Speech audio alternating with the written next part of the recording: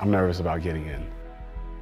I'm also nervous to have to show the different schools what I can do um, past just my scores.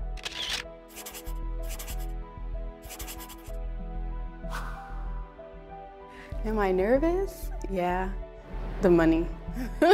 the money and not being able to handle all the workload that they give you the first, like freshman year, in the first semester.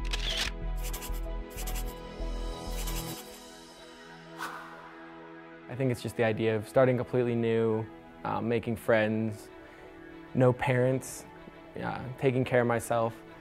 I think just general fears of being at a new place.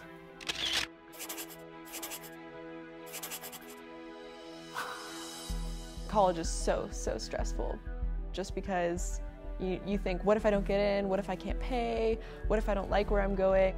And what if I choose the wrong school?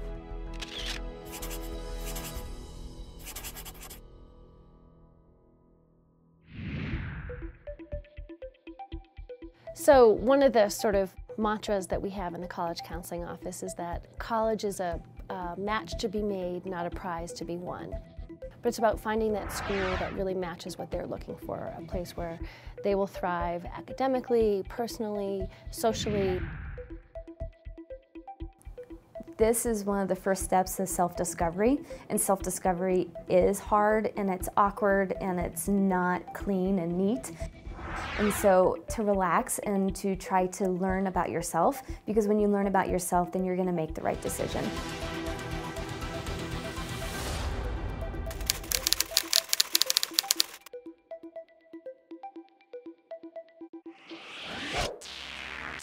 To lay a good foundation for college, you have to choose the right classes.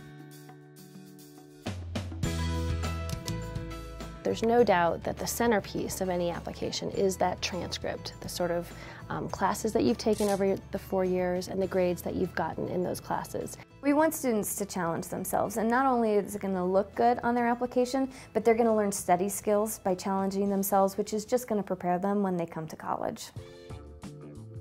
Yeah, you may be a, a really smart student, but if you